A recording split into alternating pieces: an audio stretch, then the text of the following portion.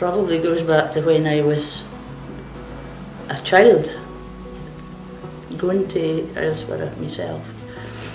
Um, in the olden days we used to sneak in when we were 10 because at that time there was just senior youth clubs so you weren't meant to go till you were 12.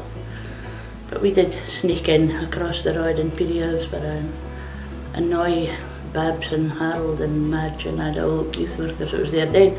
And then when I was 18, Harold Leask asked me to come to Islesburgh one night and help out with something. And then the next week he asked me again and then all of a sudden I realised I was a youth leader at that time as what they were called. And I've still not been inducted. that would have been in 1978. And I worked at Islesburgh until 2014 was it, when they paid off a lot of the youth workers unfortunately. But um, youth work was just a huge part of my life for, for so many years because you kind of evolved your week around your shifts you usually did at that time I would do maybe two or three nights a week and, and it was just great fun going and seeing the bairns every week and all that kind of thing.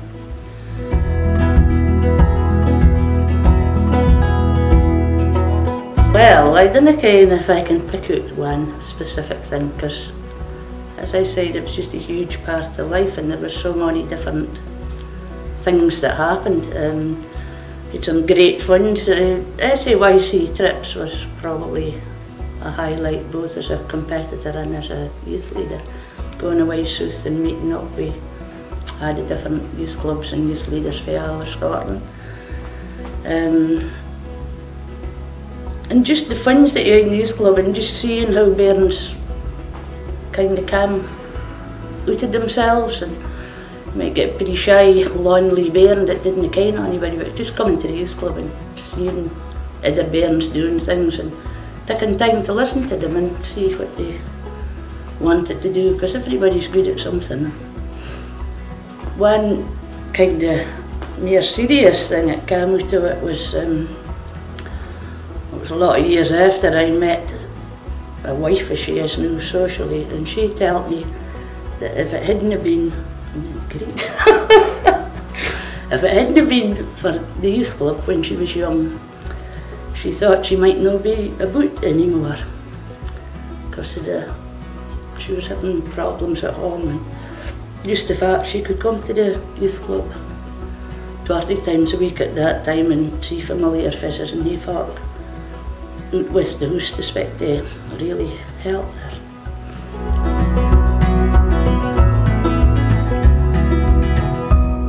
Well, because I think even more so in this day and age, there are a lot of bairns that maybe didn't go out and mix with folk. They're sitting in, working with their consoles and whatever, sitting in on their own. And the only time they're maybe mixing with bairns is at school.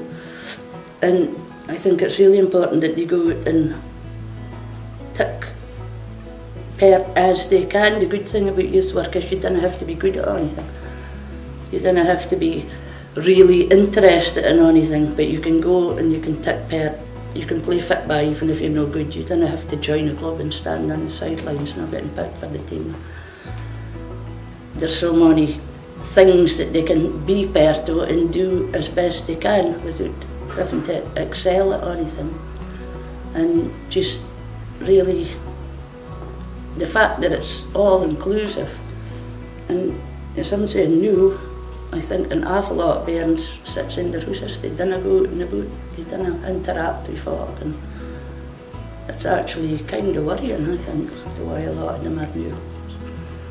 So something like the youth club where you don't have to be specifically good or anything, they can go and still meet and take part and do what they can draw a picture, doesn't have to be a masterpiece. Shoot a few hoops or whatever it is And if they miss it, it doesn't matter, as long as they're enjoying themselves.